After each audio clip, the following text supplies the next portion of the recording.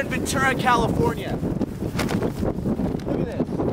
Ventura, California today. And here we are.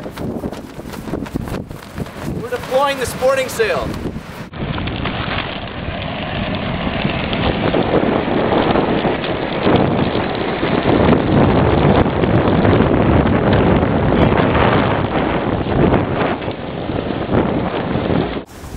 So here we go. Here we are.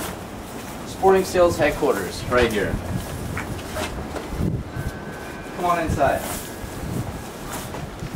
So I wanted to talk to you a little bit about the history of the sail and how we were inspired to really reinvent the descent, as we've been saying before, on snow and cement. So taking that knowledge that we acquired from our grandfather my, my brother and I found the original Ski Klipper that he sewed up long ago in 1977, upstate New York, and we've discovered a way to use it on a skateboard.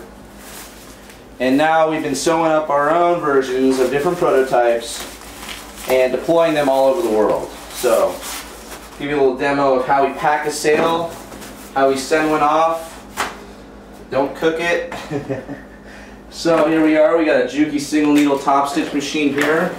And I'm going to finish up one of these seams, give you a little demonstration of what we do. Do a little back tack here. And then just kind of follow the reinforcement patches that we've been sewing on with the nylon ripstop.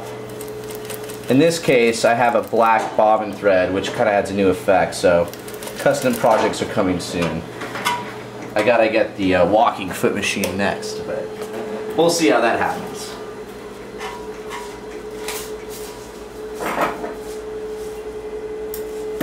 So anyway, that's kind of how we sew our quality products here. We do finish them off with some bar tack reinforcements, as you can see. The hook and loop nylon ripstop. Uh, the hook and loop webbing folds nicely, compacts really much to your to anything you really like. You could fit this whole sail into your fist if you wanted to. So, turn that guy off. And over here is some of our product displayed off in boxes. And so what I'll do now is we'll take a sporting sail, one that we just made, and we're going to package one up for you to ship off to you. So here's some of our skate wheels all the packaging is done on a table that my brother and I, Nick Smith and Billy Smith, have skated on all these wheels in the past. And now we realize after wearing through our shoes and our wheels and burning through our wallets essentially, we've developed a sporting seal to never drag our feet, hands and feet on the street again.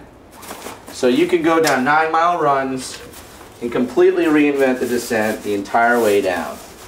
So here we go, patch, packaging up your sporting sail right now. These poor Fiskars here are going to be very dull by the end of this try, this this uh, session here. So we've got that. Here's the little crimps. So I just kind of crimp that up right here. My good buddy up in Santa Fe in Marin County came up with these great hang tags that we designed. He produced them. Thank you very much for that. Kind of put that through there. I make sure I hot cut all the edges of the webbing too because you make you don't want that stuff to fray. And kind of weave it through right there.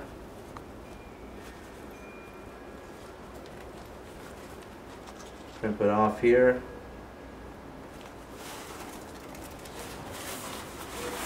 Put it inside the box, which we've taken inspiration from our grandfather's Ski Klipper, as you can see.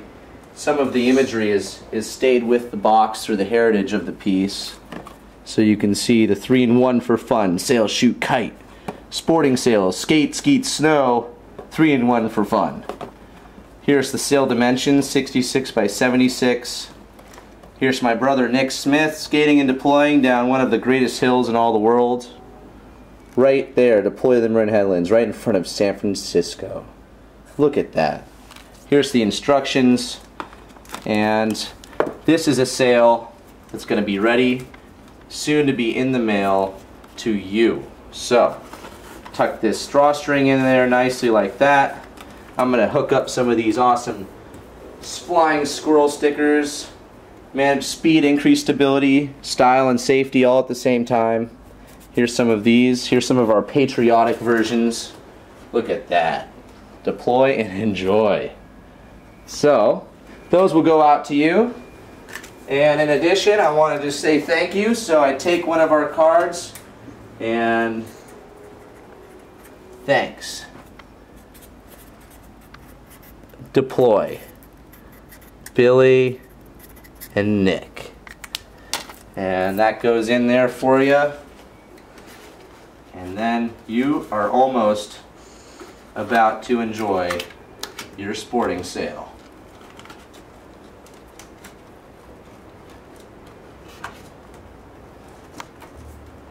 Perfect.